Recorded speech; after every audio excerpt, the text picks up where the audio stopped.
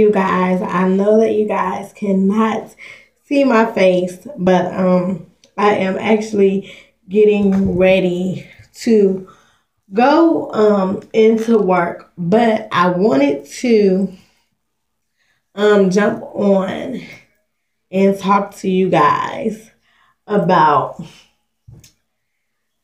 I wanted to talk to you guys about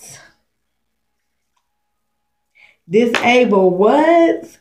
And what I mean by disabled what is this? When you look up the word this it means um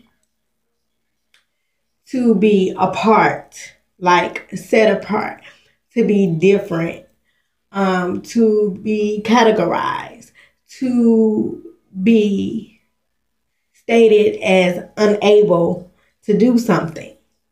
But I just said to y'all, disable what? Behind the dis, there is the word able, which means what the world considers unable to do, God makes you able. So, whatever your disabled what is, mine is cerebral palsy. Somebody else could be a health issue. Somebody else can be a self confidence issue. Somebody else could be not knowing their purpose. Somebody else could be worrying.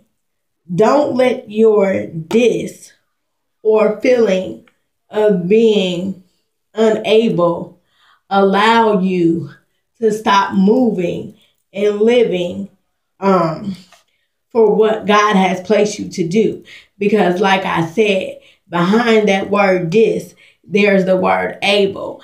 And God um reminded me one day, like, yes, you're disabled, but you serve me.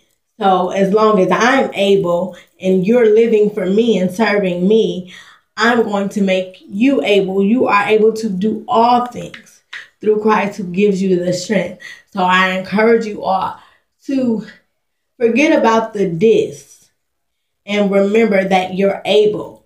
There's nothing that you cannot do. There's nothing that you cannot accomplish.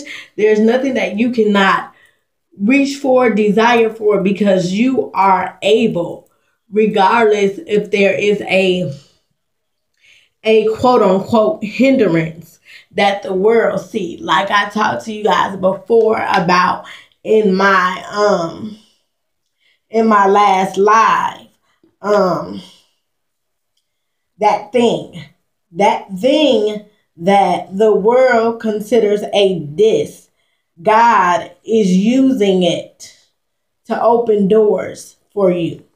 You might not see it right now but it's coming. You have to continue to trust him.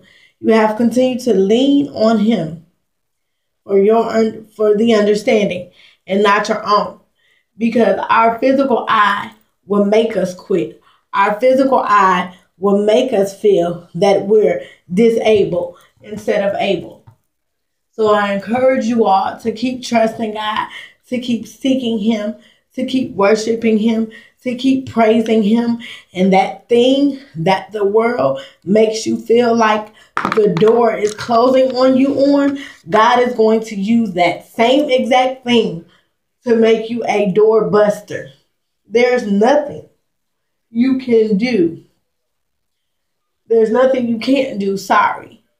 As long as you believe and trust in God. He is your strength. He gives you strength when you're feeling weak. So I encourage you all to lean on Him from that strength.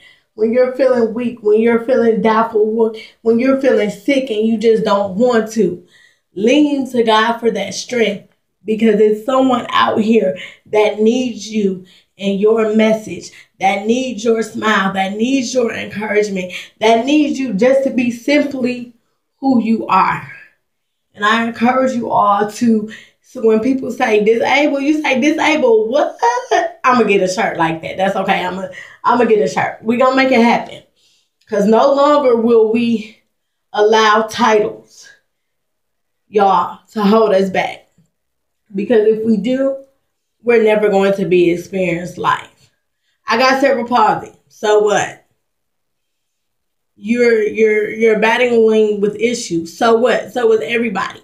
Everybody has something, but everybody's is not visible, and that's okay. In the word, we're going to heal, like I told you guys. The way we're going to heal from those things is to call those things out, to speak up on those things, to not be ashamed of those things, because those things are a part of us. They do not define us. Don't get it twisted, but they're a part of us. So you have to trust God because you were fearfully and wonderfully made in His image. So He knew what you were going to be in your mother's womb. So no longer do you have to say, I'm disabled or I'm unable to accomplish this or reach this because this door hasn't opened. Go back to the drawing board with God as the leader, and those doors will open. Until next video, guys, be blessed. Keep praising, keep fighting, keep worshiping, keep standing, keep smiling. Um, I will leave my website information in the description box below. Please check it out if you have not already. There are numerous blogs up there that you can get encouragement from different books of the week that I have read that I'm interested in, quotes, all of that. There's about me, there's an about me section on there. So if you want to know a little bit more about me and my family and my purpose for me doing what I do, is all on that site. And I will also do a video about my mission and my purpose very, very soon. Until next video, guys, be blessed, keep praising, keep fighting, keep worshiping keep smiling, and keep standing.